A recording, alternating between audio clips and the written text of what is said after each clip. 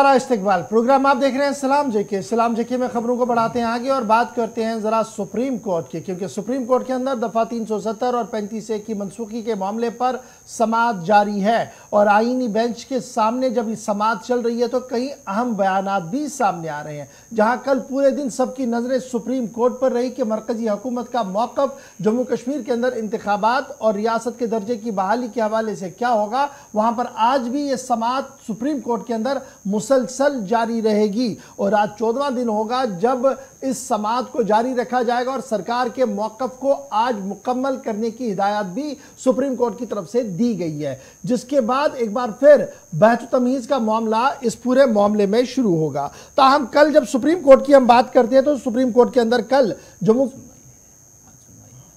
जम्मू कश्मीर इंतजामिया ने साफ़ कर दिया था कि कल कल सॉलिसिटर जनरल की तरफ़ से यह साफ़ कर दिया गया था कि जम्मू कश्मीर की रियासत का दर्जा बहुत जल्द बहाल किया जाएगा। ताम टाइम फ्रेम कोई नहीं है जी, कब बहाल होगा यह सॉलिसिटर जनरल ने कहा और बिल्कुल वैसा ही बयान था, जिस तरीके का वज़ीर दाखिला साहब ने उस दिन बयान दिया था जब जम्मू कश्मीर सबका रियासत को दो हिस्सों में तकसीम किया गया था और on the floor of the house ये साफ़ कर दिया गया था कि जनाब, आ रियासत का दर्जा बहुत जल्द बहाल किया जाएगा। ताहम इंतबात के लिए मरकजी हुकूमत तैयार है। इंतबात कभी भी हो सकते हैं, हालात बदल रहे हैं, तरक्याती मंजरनामे पर काफ़ी ज़्यादा बेहतरी हुई है और इलेक्शन करवाना इलेक्शन कमीशन ऑफ़ इंडिया का काम है। यानी इलेक्शन कमीशन ऑफ़ इंडिया जिस दिन तारीखों का ऐलान करेगी, मरकजी हुकूमत की तरफ़ से माकूल और मुनासिब इंतज़ाम वहाँ पर किया जाएगा। कल जब एदाद शुमार दिए गए और ये कहा गया कि 370 के अख्ताम के बाद जम्मू कश्मीर के हालात कदरे बेहतर है, सरमाकारी में इजाफा हुआ है, रोज़गार के मौके मिल रहे हैं और लगातार डिजिटल इंडिया के कॉन्सेप्ट और दीगर मामला में रियासत जो है वो मुसलसल आगे बढ़ रही है, जो साबित शायद पहले नहीं थे। इस पर कपिल सिबल और दीगर वकला की तरफ़ से अगरचे सवाल भी उठाए गए। ताहम, वो बड़ा सवाल कि क्या रियासत का दर्जा बहुत जल्द बहाल होगा? इस पर सॉलिसिटर जनरल का कोई वाजिया मौकफ नहीं था, कोई वाजिया दलील नहीं थी। और इंतबात भी इलेक्शन कमीशन ऑफ़ इंडिया का काम है। जिस दिन कराना चाहें करा सकते हैं जम्मू मरकजी हुकूमत पूरा ताउन देगी। बयान आने के बाद जम्मू कश्मीर की मुख्तलिफ़ सियासी जमातों के रहनुमाओं का बयान भी आया। पीपल्स कॉन्फ्रेंस ने अगरचे इस पूरे बयान को मायूस कन करार दिया। नेशनल कॉन्फ्रेंस ने कहा कि नया नया इसमें कुछ भी नहीं है। कांग्रेस का रद्द अमल भी सामने आया और इसके साथ साथ बीजेपी ने भी सॉलिसिटर जनरल के बयान की तायद करते हुए साफ़ किया कि जो कुछ कहा गया, ये ज़मीनी हकीकत है। जम्मू कश्मीर अपनी पार्टी से लेकर दीगर जमातों की तरफ़ से भी बयान दिए गए और सभी लीडरों ने रियासत का दर्जा बहाल करने और इंतबात फौरी से बेशतर कराने की मांग को एक बार फिर जम्मू कश्मीर से दोहराया गया। ताहम इंतबात कौन से होंगे? जो कल भी बात सामने आई, वो बल्दियात के होंगे। पंचायतों के होंगे। साफ़ कर दिया गया कि लद्दाख के अंदर भी इंतबी अमल जारी है। लेखा मुकम्मल हुआ है। करगिल का चल रहा है। ताहम लद्दाख के लिए एक बड़ी खबर कि वहाँ पर रियासत का दर्जा बहाल नहीं होगा। जम्मू कश्मीर के लिए यह खबर कि रियासत का दर्जा बहाल होगा लेकिन कुछ और इंतज़ार करना होगा।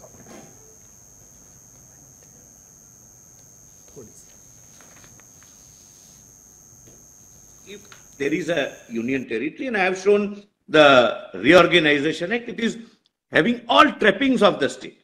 But the election, the government is ready. It is for the Election Commission of India and Election Commission of the state to take the call. Out of three, which election to take place first and uh, how. The updating of the voters list is complete. Some part is missing, but it uh, is is yet to be over. It's in the process. It would be over, my lord, in, in a uh, month or so, my lord. I'm, that's what I'm told. Thereafter, they will take a call considering the overall situation. What the solicitor was saying is that the roadmap to full statehood would take a little time. That's obvious. Right now, that they are the, the, the development. There, his his uh, his submission is that right now development work is taking place. Some stability has to be brought about. This is not a permanent arrangement, namely the UT status. They envisage that it will be a movement from UT to statehood again. We can't give you a fixed point of time when we will restore statehood, but they have told us the process which they are following on, on the path to. Uh, I have no objection. That, that, that, statement, I have no objection. And that's how we read it. Actually. Yes, well, if any other fact that you bring to your lordship's notice has no bearing, because I'll have to come. चलिए Kapil Sibal solicitor general और दीगर वकला के बीच कल एक बार फिर तलक कलामी भी हुई है बात भी हुई है सवाल जवाब भी हुए हैं तहम मामला सुप्रीम कोर्ट के अंदर जेर समात है। बढ़ते हैं जी आगे। बात ज़रा बुलंद पाया वली कामिल की भी करते हैं, जहाँ पर रात भर खतमातुलमज़मा दरूद अजगार की रूपरवर मजलिसों का अहतमाम हुआ। पखरपुरा के आस्था न्यायालय पर कल रात देर, रात भर खतमातुलमज़मात और दरूद अजगार की रूपरवर मजलिसों का अहतमाम हुआ है। सालाना उर्स हज़रत अली बल्खी साहब का उर्स जो है वो नहायती अकीदत एहतराम के साथ पखरपोरा के अंदर मनाया गया, जहाँ पर हज़ारों की तदाद में लोगों ने रात भर खतमातुलमज़मात दरुद अजकार और खसूस दुआओं में शिरकत की। इस मौके पर जहाँ मुख्तलिफ़ उलमाओं की तरफ़ से कुरान और हदीस की रोशनी में आ, बात की है वहीं पर यह भी बात काबिल ज़िक्र है कि सईद अली बल्खी रहमत पंद्रहवीं सदी के मशहूर मरूफ मुबलिक थे और अफ़गानिस्तान से इनका ताल्लुक था। और उस वक्त के वली कामिल हज़रत शेख नूरदीन नूरानी रहमत के मुरीदीन में से हुए थे और उन्होंने उसे अपना पीर मुर्शिद माना था, जिसके बाद बलक से वो सीधे पखरपुरा आए थे, वहाँ पर रहे थे और वहीं पर उन्होंने क़्याम किया। इधर मकामी इंतज़ामिया, जो डिस्ट्रिक्ट एडमिनिस्ट्रेशन है रियाती वर्क बोर्ड है, और दीगर इंतज़ाम, दीगर जो लोग हैं, उन्होंने माकूल और मुनासिब इंतज़ाम रात भर वहाँ पर किए थे, और पिछले कई दिनों से दरूद अजकार की रूह पर मजलिसों का अहतमाम हो रहा था, और रात भर खतमातुलमज़मात के साथ ही सईद अली बलखी रहमत का सालाना उर्स भी अख्ताम पजीर हो चुका है।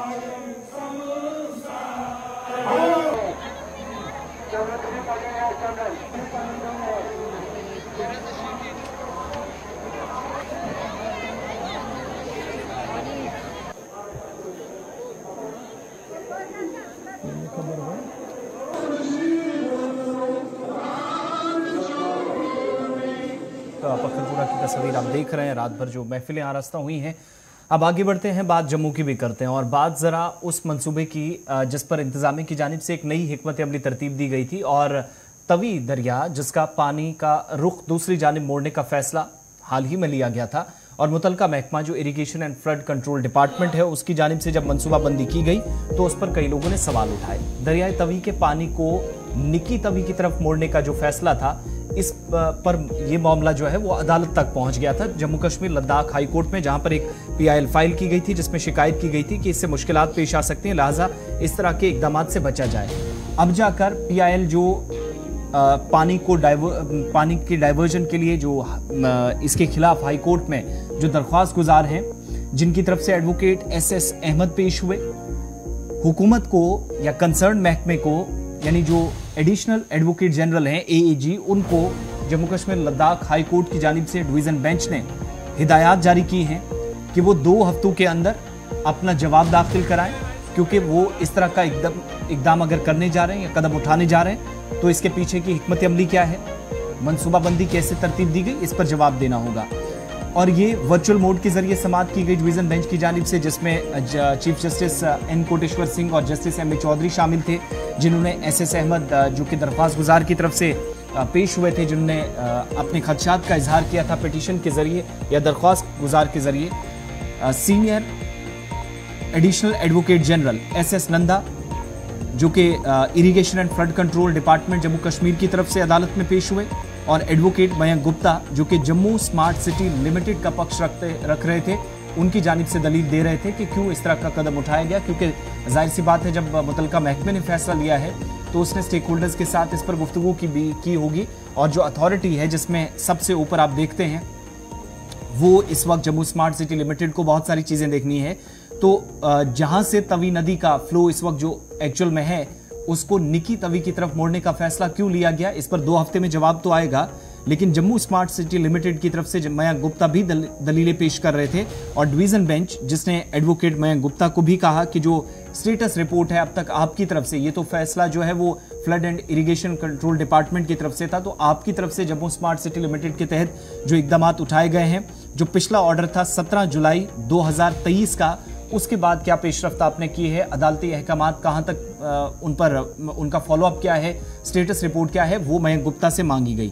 दूसरी तरफ़ अब इंतज़ार इस बात का भी रहेगा कि सरकार ने ऐसा फैसला क्यों लिया कि निकी तवी की जानब पानी का रुख मोड़ने की कोशिश थी या जो एक्चुअल में तवी जो, जिसका फ्लो जो एक बड़े हिस्से की तरफ़ जाती है या बीच में पाकिस्तान वाले एरिया की एरियाज़ की तरफ़ भी पानी डाइवर्ट होता है तो उसमें जवाब जो है वो मुतलका महकमे को या flood control and irrigation department को दो हफ़्ते के अंदर देना है, और डिवीज़न बेंच की तरफ़ से जो पीआईएल थी 25 सितंबर 2023 में इसमें आप देखेंगे री नोटिफाई करने की बात ज़रूर कही गई है, लेकिन हुकूमत का जवाब जम्मू स्मार्ट सिटी लिमिटेड की पेशरफ 17 जुलाई 2023 को जो अदालत की तरफ़ से हुक्म दिया गया था उसके बाद क्या कुछ मुतलकिन की तरफ़ से किया गया है, उस पर भी जवाब तलब किया गया है, लेकिन हुकूमत ने ऐसा फैसला क्यों लिया कि पंचानवे परसेंट के आसपास जो दरियाई तवी का पानी है, फ्लो है, उसको दूसरी तरफ़ मोड़ने का और निकी तवी की तरफ़ डाइवर्ट करने का फैसला लिया गया।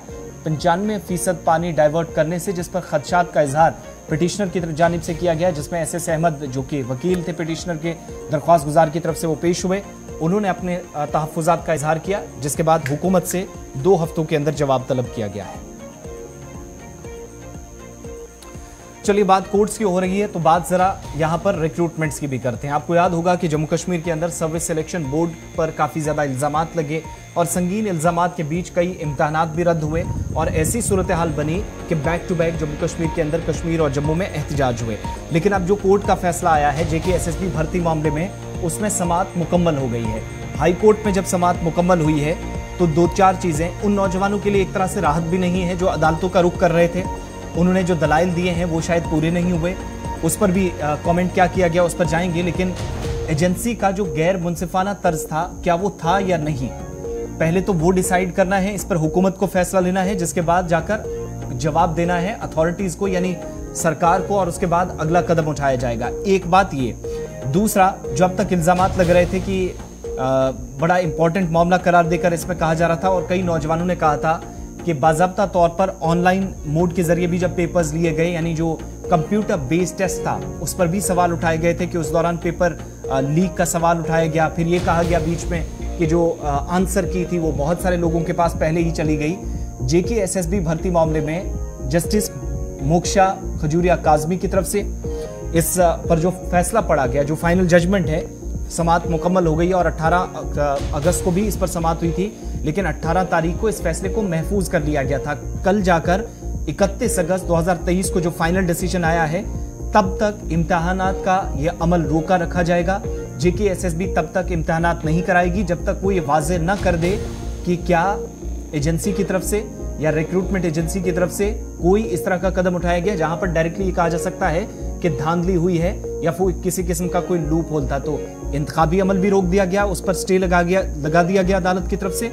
और दूसरा, जो अनफेयर कंडक्ट की बात की जा रही थी कि गैर मुनसिफाना तर्ज एजेंसी की तरफ़ से अपनाया गया और जेके को डायरेक्टली टारगेट किया गया था। तो जेके के लिए राहत भी है, लेकिन जवाब भी अभी देना होगा। मजीद जजमेंट में क्या कहा गया? फैसल रियाज के पास श्रीनगर चलेंगे। फैसल, तफसील से बताइएगा। अदालत की तरफ़ से तीन चार कमेंट्स किए गए हैं। एक तो उस कंपनी पर, जब तक मुकर्रा मुद्दत तक, उस पर पाबंदी लगती है तो मुस्तकिल ये पाबंदी नहीं हो सकती, ये भी क्लियर किया गया। लेकिन दूसरी बड़ी इंपॉर्टेंट चीज़ इम्तान अब कब होंगे? क्या इस पर हम देखेंगे कोई डेवलपमेंट होती हुई? क्योंकि उम्मीदवार जो अदालत का रुख कर रहे थे उनको तो कल क्लियर कह दिया गया कि आपने जो दलाइल दिए शायद वो पूरे नहीं है जिसके बिना पर फैसला जो है वो कहीं ना कहीं जेके एसएसबी के फेवर में गया है।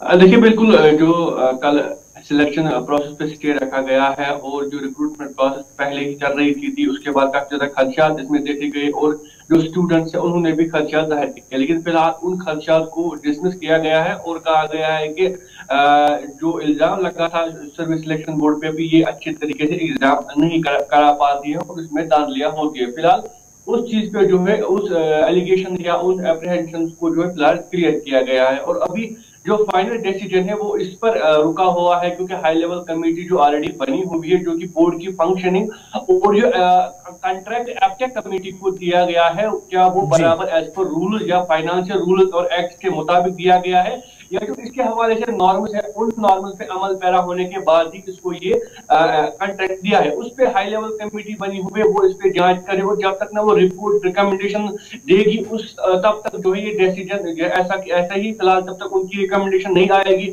हाई लेवल कमेटी की उनका रिपोर्ट नहीं आएगा, तब तक जो है रिक्रूटमेंट प्रोसेस सिलेक्शन प्रोसेस जो है रुकी। रहेंगी। तो अब जहाँ तक ये पेटिशन का ताल्लुक है तो पेटिशन आपने भी कहा कि 40 लड़कों ने जो पेटिशन हाईकोर्ट में डाली थी, जिसकी समाप्त हो रही थी बेंच के ज़रिए की जाए तो मुख्य जो जस्टिस है जज है उन्होंने क्लियर ये कहा गया, किया है कि जो लीगल मौकिफ या लीगल जो स्टैंडिंग है, वो इन पेटिशनर्स की उतनी मज़बूत नहीं है, जहाँ पे ये इस जो है, इस, ये कह सके कि ये जो कॉन्ट्रैक्ट दिया गया है आपके कंपनी को, ये अनफेयर के तरीके से दिया गया है, और जो मॉडर्न टेक्नोलॉजी की बात की जा रही है, उसको भी कहीं ना कहीं जो है गलत तरीके से इस्तेमाल किया मिस किया गया है। तो क्लियर जो है हाई कोर्ट ने किया है कि पेटिशन के पास उतना लीगल स्टैंडिंग नहीं थी वो एस्टेब्लिश नहीं कर पाए अपनी स्टैंडिंग इसके हवाले से। तो उसके बाद ये और एक वो एक और पॉइंट भी कहा गया कि इनके पास कोई रीजन नहीं है कि ये इस आ, को जो है चैलेंज कर सके क्योंकि इन्होंने खुद एग्जामिनेशन में पार्टिसिपेट किया है। तो अगर किसी के पास रीजन है कि वो एफटेक को चैलेंज कर सकते उसको उनके कंट्रैक्ट देने को चैलेंज कर सकते हैं वो कोई तीसरी कंपनी होगी जिनको ये कंट्रैक्ट नहीं मिला है वो ये चैलेंज कर सकते हैं कि उनको ये कैसे मिला? ताहम जो एस्पेरेंट्स है जिन्होंने इसके लिए प्ली डाली थी हाई कोर्ट में उनको कहा गया है कि उनको क्लियर कहा गया है कि आपके पास कोई लीगल दलील उतनी ज़्यादा मज़बूत नहीं है बहुत बहुत शुक्रिया फैसल हमारे साथ ज्वाइन करने के लिए बात एसएसआरबी की हो रही है एसएसबी की हो रही है सर्विस सिलेक्शन बोर्ड की हो रही है तो जरा मामला और भी आपके सामने रख दे क्योंकि सर्विस सिलेक्शन बोर्ड का एक और फैसला रात देर गए सामने आया है और सर्विस सिलेक्शन बोर्ड ने एक और कंपनी को फ़िलहाल ब्लैकलिस्ट कर दिया है और यहाँ पर भी मामला नौकरियों को फरा जो नौकरियों के लिए इम्तिहान के लिए सिक्रेसी होनी चाहिए थी और जिस तरीके से इम्तहान लेना था, उसमें कहीं ना कहीं जो है वो सही तरीके से वो नहीं हुए हैं, जिसके बाद एसएसबी की तरफ़ से बड़ा फैसला लिया गया है। एसएसबी ने मैट्रिक ट्रैक नामी कंपनी को फ़िलहाल ब्लैकलिस्ट कर दिया है और बोर्ड की तरफ़ से बाजाबता तौर पर यह साफ़ कर दिया गया कि मैट्रिक ट्रैक प्राइवेट लिमिटेड जो है, वो नाकाम हो गई है। मेंटेन करने में 100 फ़ीसदी सिक्रेसी को और security of question paper maintenance of examination जिसके बाद एसएसआरबी ने एक बड़ा इनकलाबी फैसला लेते हुए मैट्रिक को भी फ़िलहाल ब्लैकलिस्ट करने का फैसला लिया है। एजेंसी को डिबार कर दिया गया ब्लैकलिस्ट कर दिया गया। वो कोई भी इम्तहान कंडक्ट नहीं करा सकती। हैं यूनियन टेरिटरी जम्मू कश्मीर के अंदर और फ़िलहाल ये मामला जो है दो साल के लिए इन पर पाबंदी रहेगी और जो मामला सीबीआई की नोटिस में है, अगर उसमें मजीद कोई बात सामने आती है तो ये मामला और भी आगे बढ़ सकता है और ये पीरियड जो है मजीद बढ़ सकता है, बोर्ड की तरफ़ से साफ़ कर दिया गया है। तमाम तर शवाही, तमाम तर मामला को मद्देनजर रखते हुए matric track service private limited company को भी ब्लैक लिस्ट कर दिया गया है और सौ फ़ीसदी जो सिक्योरिटी ऑफ़ एग्जामिनेशन प्रोसेस था उसमें उसमें कहीं ना कहीं छेद था, उसमें कहीं ना कहीं कमज़ोरी थी, वो सही तरीके से नहीं हुआ है। और जो trust S S B S S R B पर एस एस बी पर था, वो कहीं ना कहीं कम हुआ है इन प्राइवेट एजेंसीज की वजह से, जिसके बाद बैक टू बैक दो बड़े डिसीज़न जो है वो लिए गए हैं। एफटेक पर पहले ही डिसीज़न था और अब Messrs matric tech private limited पर भी फ़िलहाल दो सालों के लिए पाबंदी आयद कर दी है। और याद रखिएगा account assistant finance junior engineer civil JSD और सब इंस्पेक्टर होम के मार्च 2022 में इम्तहान हुए थे। इसमें फेयर और ट्रांसपेरेंसी का मामला आया था, जिसके बाद शोकाज नोटिस जारी की गई थी। मामला चल रहा था सीबीआई से लेकर अदालती अहकाम के तहत कार्रवाई हो रही थी। फ़िलहाल एपटेक के बाद एक और कंपनी मैट्रिक पर भी पाबंदी आयद कर दी गई और फ़िलहाल इसे दो साल पर ब्लैक लिस्ट कर दिया गया है। यूनियन टेरिटरी जम्मू कश्मीर का आपको याद होगा कि लेफ्टिनेंट गवर्नर मनोज सिन्हा ने गुजशत जुनू श्रीनगर के अंदर भी इस बात का खुलासा पेश किया था कि तमाम तर जायजे लिए जा रहे हैं, तमाम तर शवायद को देखा जा रहा है और जो मुनासिब फैसले होंगे वो मुनासिब वक्त पर लिए जाएँगे और जो भी कहीं पर मुलविस होगा उसे बख्शा नहीं जाएगा। बैक टू बैक ये कई डिसीज़न जो है वो पिछले 24 घंटों के दौरान हमारे सामने आए छोटा सा ब्रेक होगा। ब्रेक के बाद जरा सड़कों की रफ्तार आपको बताएँगे। सरूर पर मामला यह है कि सड़क है नहीं, टूल नहीं देंगे। लेकिन कल नितिन गडकरी साहब का एक और बयान और ट्वीट सामने आया, जिसमें दूर दराज इलाकों के अंदर रहने वाले लोगों के लिए अच्छी खबर है। खबर आपको आपको बताएँगे। फिर आगे चलते हुए लद्दाख की जब बात हुई है तो मजीद कुछ बातें भी आपके साथ शेयर करेंगे, छोटा सा ब्रेक होगा। आप बने रहेंगे हमारे साथ छोटे से वक्फे के बाद हाजिर होते हैं।